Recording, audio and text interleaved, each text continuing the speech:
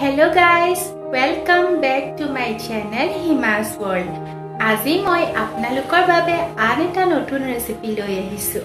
আহকচোন চাওঁ মই এই ৰেচিপিটো কেনেদৰে বনালোঁ।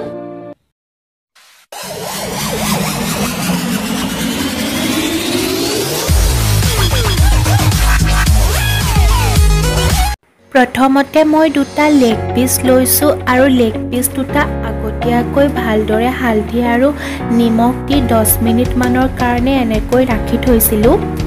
এতিয়া মই এফালে এটা বাতিত ময়দা লৈছোঁ এক কাপ আৰু ময়দাখিনিত এতিয়া মই লেগ পিচটো ভালদৰে সানি ল'ম।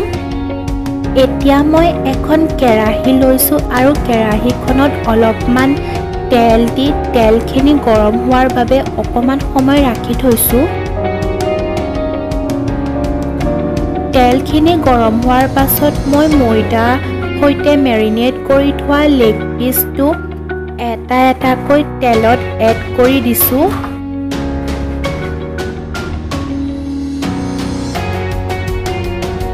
এটা কথা মন কৰিব লেগ পিচটো আপোনালোকে যেতিয়া লৰাব খুব সাৱধানে লৰাব যাতে ময়দাখিনি লেগ পিচটোৰ পৰা ওলাই নাহে।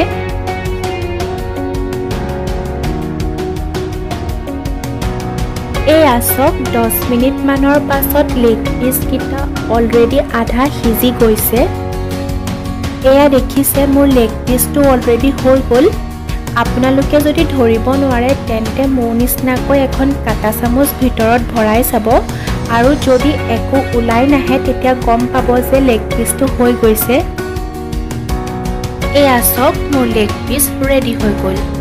যদি আপোনালোকে মোৰ ভিডিঅ'টো চাই ভাল পালে দেন প্লিজ এটা লাইক কৰিব আৰু লগতে কমেণ্ট কৰি জনাবলৈ নাপাহৰিব।